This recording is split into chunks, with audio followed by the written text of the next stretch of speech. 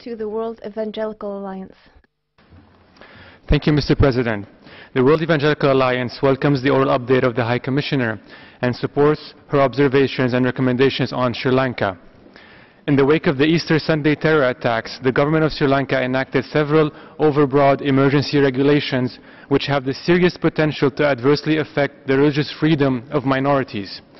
Further to the enactment of these regulations, Sri Lankan law enforcement officials have made multiple arrests on arbitrary grounds and with disregard to due process protocols.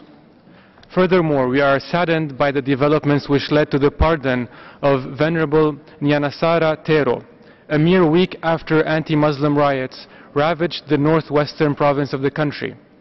Venerable Gnanasara has a history of antagonism against minorities and has been linked to similar situations of unrest in the past. In such a context, this pardon signifies an absolute disregard by the executive for the concern and safety of minority groups in Sri Lanka. We call on the government of Sri Lanka to avoid the repetition of the mistakes of the past, to actively protect and promote the status of minorities, and to ensure equality of all its citizens.